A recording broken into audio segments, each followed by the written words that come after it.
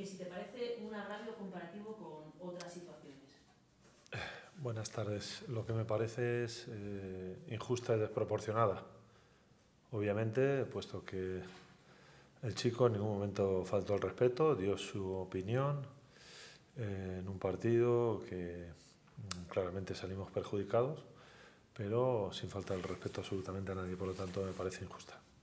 Luego te pregunta, en este caso un Acero, que ante las bajas en defensa que tienes, eh, ¿qué solución has pensado concretamente en el lateral derecho?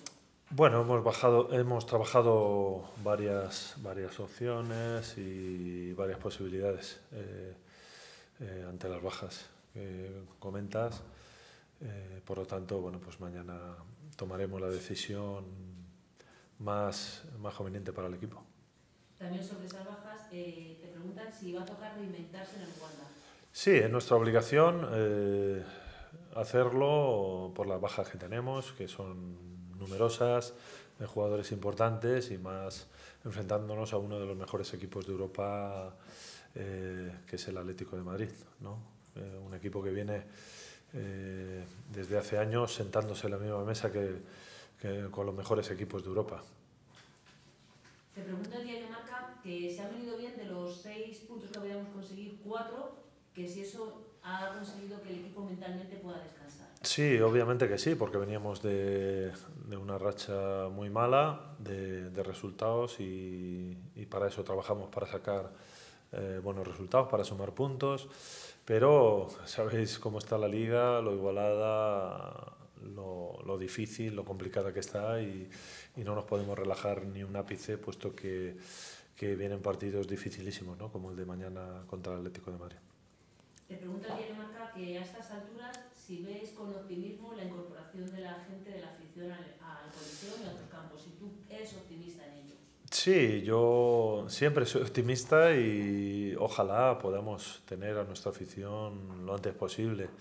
Eh, sabemos que todavía falta algo de tiempo, pero a ver si afortunadamente bueno, pues esto mejora ahora con la llegada de la vacuna y, y bueno, vamos dándole normalidad a, absolutamente a todo porque yo creo que lo necesita, lo necesita el ciudadano, lo, ne lo necesita el fútbol y no, lo necesitamos todos. La joven te pregunta de cómo está el equipo, si hay lesionados. Bueno, los ya sabidos sancionados por, por quinta tarjeta, la sanción a Cucho, eh, Mollejo que está, sabéis que está también lesionado, Darío Poveda lesionado, en fin, las bajas ya sabidas, eh, los demás están todos disponibles. Te pregunta que las estadísticas dicen que de 17 partidos que se ha enfrentado el Getafe al Atlético del Cholo no se ha ganado ninguno. ¿Qué te dices hasta eso? Bueno, eso quiere decir que es eh, un grandísimo equipo que lleva años haciendo las cosas francamente bien.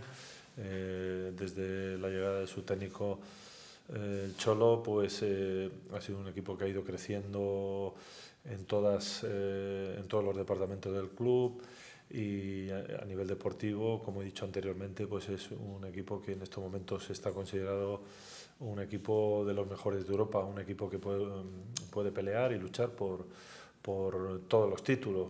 Eh, por lo tanto, eh, no, no me sorprende nada esos números que comentábamos eh, que han sido adversos para nosotros, pero que lo demuestran eh, el nivel, el nivel de este equipo, jugadores eh, de la talla de Oblak como el mejor, eh, el mejor portero del mundo, eh, Luis Suárez, eh, un delantero que, que se ha incorporado esta temporada, que, que viene demostrando en el Fútbol Club Barcelona años atrás que es uno de los mejores goleadores de, de, la historia de nuestro fútbol y, y, bueno, jugadores como Coque, como Saúl, eh, Carrasco, Lemar, en fin, eh, un auténtico equipazo.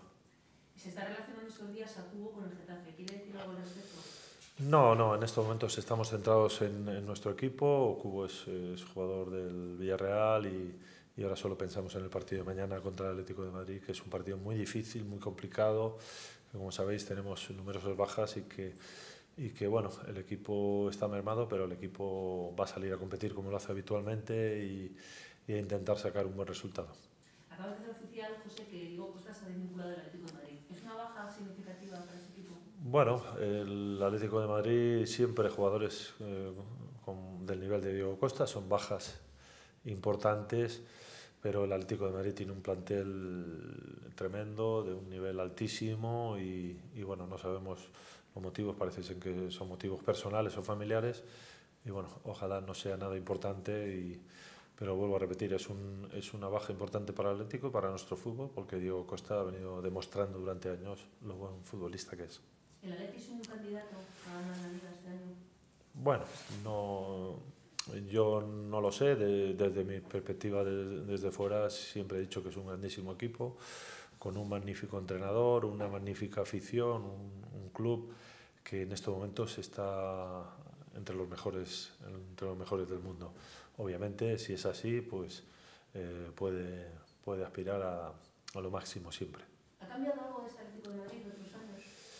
Eh, Obviamente sí, se ha visto un crecimiento, como he dicho anteriormente, eh, a nivel estructural del club, a nivel deportivo, y bueno, pues ha ido mejorando su plantilla en todos los niveles, a nivel de, de, de, jugadores, a nivel de calidad. Es un equipo que ha ido creciendo, también con el trabajo magnífico de su técnico, ha ido creciendo, ha ido mejorando y en estos momentos está eh, puede ser uno de los equipos que más en forma esté en el campeonato liguero en estos, en estos momentos del campeonato, a excepción del partido contra el Real Madrid, eh, que bueno, pues ahí el Real Madrid sí que fue quizás superior, pero el resto de partidos eh, ha estado a un grandísimo nivel y eh, tanto ofensivo como a nivel defensivo. Un equilibrio enorme, un grandísimo equipo. José, es el primer año que el fútbol profesional tiene partidos, digamos, en Navidad, que se concentran más. ¿Cómo lo valoras tú eso? Bueno, la verdad es que a todos nos habituamos, obviamente. Eh, sí que es verdad que, que no estábamos acostumbrados, que nunca en nuestro fútbol se había dado una situación similar.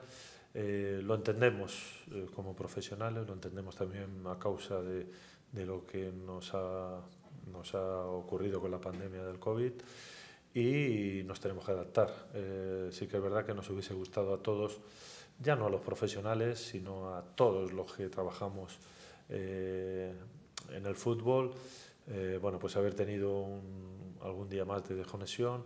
No ha podido ser, bueno, lo afrontamos con el máximo interés y, y bueno, también es bueno porque no se para el fútbol, porque sigue la liga, pero nuestro deseo es que volvamos a la normalidad y como hemos dicho antes, que la afición, que nuestra afición esté de nuevo apoyándonos, estando como ha estado siempre al lado del equipo y es lo que añoramos y deseamos que lo antes posible esté en el estadio con nosotros.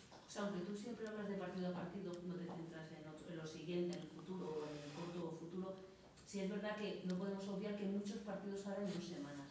¿Eso cambia algo, tanta concentración de partidos? Sí, eso no es, no es sencillo, no es fácil para y máxime, máximo, máxime cuando bueno, pues, eh, estás en una situación como la nuestra donde tienes algunos problemas eh, de efectivos, eh, problemas de sanciones y demás, pues al final se agrava, ¿no? Se agrava porque son muchos partidos, eh, jugadores que están obligados a, jugar muchos minutos, hay un riesgo eh, importante y, bueno, quizá no, no puedes mostrar tu mejor nivel. Pero es como ha venido el calendario, nos tenemos que adaptar e intentar, eh, nuestra obligación como profesionales, eh, dar lo mejor e intentar sacar los mejores resultados. Ya acabar, José, quedan dos días y medio para que acabe este año. ¿Qué te quieres olvidar del año? ¿Qué no quieres recordar? Bueno, eh, desafortunadamente todavía estamos inmersos en una, en una pandemia y sobre todo de eso, ¿no? de, este año que nadie lo esperábamos eh, en el mes de marzo que íbamos a vivir una situación como la que estamos viviendo ¿no?